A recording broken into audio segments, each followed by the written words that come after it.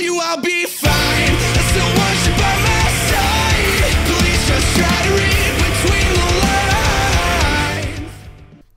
What is going on guys? MFK Clickz here and welcome back. So what I got for you guys today is my Vault of Glass exotic chest rewards on all three of my characters. I do want to apologize really quickly. I haven't been uploading much this past week. I've been really, really busy. Got a lot of personal things going on.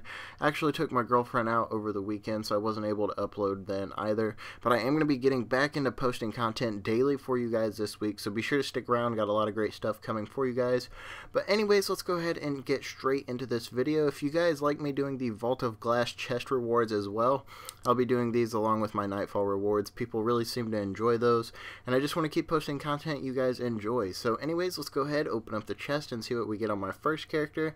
I ended up getting six Ascendant Shards. We all know this is the best thing you could possibly get from the exotic chest here. So I'm really, really happy that I got this. Not just kidding. So anyways, on my second character, which was my Warlock, open up the chest again. I got some more Ascendant Shards, and I got some Ascendant Energy with that as well. Once again, greatest thing you could possibly get from the chest. Everybody absolutely loves Ascendant Shards and Energy. And then moving on to my last character, which was my Titan, go ahead and open up the chest, and this time I get my second Hawkmoon.